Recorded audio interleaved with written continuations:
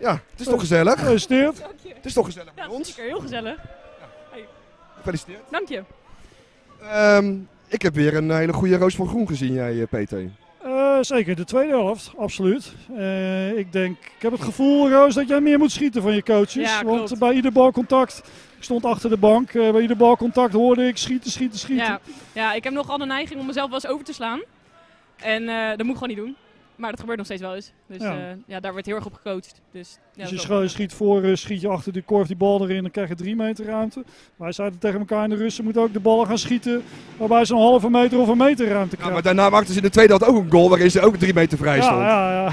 Die laatste, die ja, maar ze schoot wel een Ja. paar keer mee in situaties wat, helpt dat, vak dat ze ook de korf raakt. Dat ze die ruimte niet zo, niet zo groot is. En dat helpt inderdaad het vak, want dat maakt het voor de rest een stuk makkelijker. Ja, klopt. Ja. Toch, maar hoe is het nou voor jou? Want je staat nu, eh, je bent een van de zes, hè, dus je bent heel dichtbij. Vorig jaar niet, nu wel. Hoe is, hoe is, wat is het anders zouden we er voor jou? voor- eh, Zo erg voor Harry daar. Wat is er dan anders nu voor jou? Ehm, het is heel...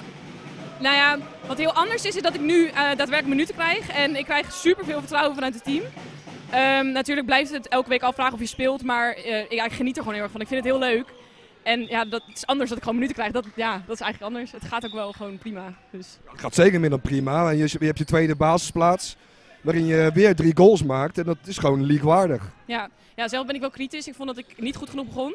Veel te lief, verdedigend slecht. En inderdaad, aanvallend schiet ik dan te weinig mee. En dan zie je Maar gewoon... wa- wat, vond je verdedigend slecht dan? Nou, ons plan is natuurlijk voorverdedigen. Mhm. En ik heb nu wel gewoon, denk drie, vier keer dat ik mijn dame wel te makkelijk laat insnijden. En daarmee breng ik de anderen in problemen. En aanvallend eigenlijk hetzelfde. Als ik niet meeschiet, dan eh, breng ik het vak in de problemen. Ja. Dus dat, dat zijn gewoon verbeterpunten. En dat ging de eerste tien minuten, kwartier ging dat niet goed. En daarna wel. Doordat ik heel vertrouwen bleef krijgen van de mensen om me heen. En dat vind ik dan gewoon heel fijn. En dat helpt mij gewoon heel erg. Ja, maar je weet, het, je, je weet het wel gelijk te vertellen na de wedstrijd van dit is een be- verbeterpunt, dat is een verbeterpunt. Ja, ja ik ben er ook heel erg mee bezig. Dus dat, eh, Maar Ben jij, ben jij bewust bezig met sneller schieten? Ja, ook vooral gewoon meer schieten eigenlijk. Dat zit bij mij heel erg van, van nature ben ik iemand die eigenlijk meer ondersteunend speelt. Je schiet best hoog weg, dus daar ligt het niet aan. Nee, ik moet gewoon schieten. Daar gaat het om. Ja. Ik moet nog gewoon schieten. Ah, ik denk dat het meer in de vooractie zit eerlijk ook ja, gezegd. ook het Ja. vrij spelen. Ja. Ja. Zeker. En eh, nu eh, sta je in een team wat, eh, eh, Fortuna 1 natuurlijk, hè, wat, wat ontzettend goed de con- competitie begonnen is.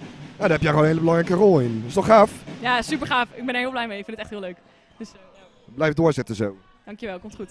Dankjewel Roos. Succes. Oh.